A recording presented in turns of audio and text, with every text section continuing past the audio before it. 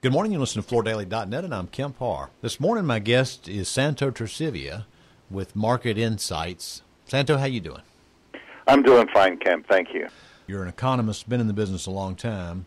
I wanted to talk today in light of these hearings in Washington and the consideration for adding floor covering as a tariffed item out of China and talk a little bit about the ramifications, how that would change the business, just based on the statistics that you have. Let's get into that. First off, a comment was made last week in the testimony. It's very interesting once you look at it that if you roll it all up and you look at the flooring business, it hadn't changed a lot in the last 10 years. And if you look at the top line number, you know, $23 billion, it's right. I mean, it's actually real close. When you look at 2007 and 2017, those two years were roughly 23 billion in sales, right? That's absolutely correct. The one thing that's different is back in 2007, we were in the midst of a inflated housing bubble. Yeah. And a lot of floors were going into houses that by all intents and purposes shouldn't have been built. And we were doing over 2 million uh, housing starts back then, yeah. or close to normally, a million and a half is typical for the United States. That equals household formation. So, but that's one factor. But the, the other big thing is the sales, the shift from soft to hard. Exactly. Take us through those numbers. You just sent them to me yesterday because you look at Resilient and where it is today versus where it was. Tell us the numbers. Well, back in 2007, Resilient was about 8.5% of the total dollar market in the United States. Yeah. It's double that now. Laminate is about flat. Uh-huh. Uh, wood has grown significantly, maybe by a 3rd mm-hmm. Ceramic tile is up a similar amount, and carpet is down. Mm-hmm. Carpet is down 15 basis points approximately. Yeah.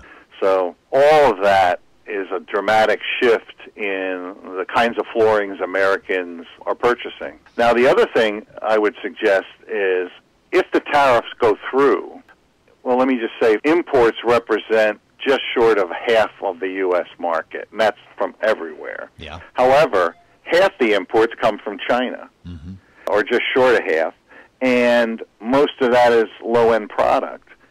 If we impose tariffs on that, it is going to significantly change the pricing nature of and pricing distribution of the U.S. market. It's going to price people out of the market, I'm convinced because it's going to hurt the low end most of all. And typically in tariff situations like this, if you look at the steel industry, you look at the auto industry over time, prices will rise, even domestically produced prices will rise.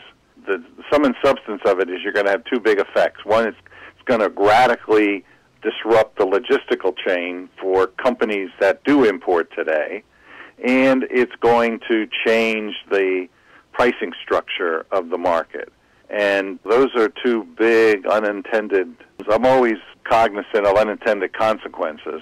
So those are two unknowns that could be negative or positive consequences. I think mainly they'd be negative. Yeah, let me mirror what you just said because I think it's the headline here. It's a 25% of what's consumed from a dollar perspective in this country it comes from China, 25%. So that's a it's that's a big correct. Number. A yeah, just a little bit short of that. Yeah. Let's go through the resilient number because I think it's interesting to look at specifically at the number.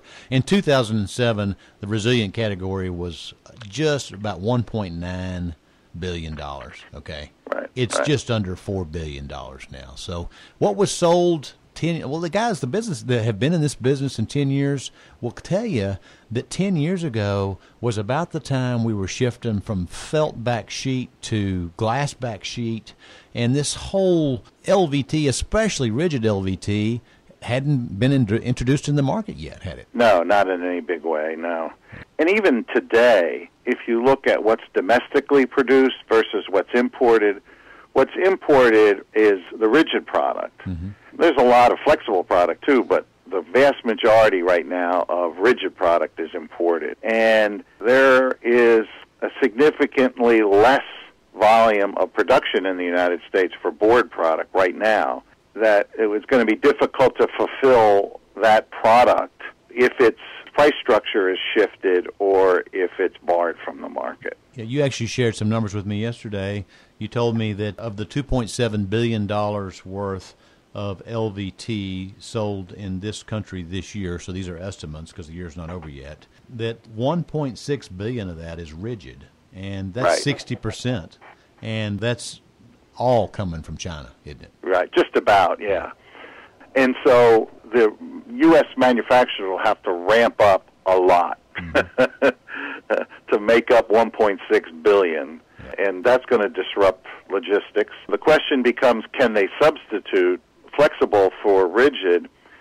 You know, we've done, you and I, uh, Floor Focus and Market Insights together have done surveys of consumers. Yeah. And the product that is the most desirable, hands down, in the United States is wood and wood looks. And the rigid LVT obviously appeals to consumers because it looks like wood. It's a board. It snaps together just like wood. It goes down like wood. Whereas the flexible product is a much tougher sell for that. So there's some big changes coming in the marketplace potentially, and it's going to be difficult to see how it shakes out, I think. Yeah, another factor right before we leave this topic that we need to dial in is the cost of the flooring, the material, and then the installed cost. It's usually about half. So when you start thinking about the installation labor and what the impact might be to installation labor when these different categories of product change, that's a factor as well, isn't it? Right. With the price changes, it's going to shift the co- competition between ceramic tile, hardwood, all these other products. So you're not only going to change the market within Resilient, you're going to shift the competitive set. And that has strong implications for deselection of product and consumers now being able to look at real wood or to look at ceramic tile or other products. And price wise, they become more competitive. Santo, I got to ask you this all, all this debate. Uh, it's making your phone ring. A lot of people want some numbers, don't they? yes, they do. All right, Santo, it's great to catch up with you again. Been talking to Santo Torcivia with Market Insights, and you've been listening to Kemp Harr and FloorDaily.net.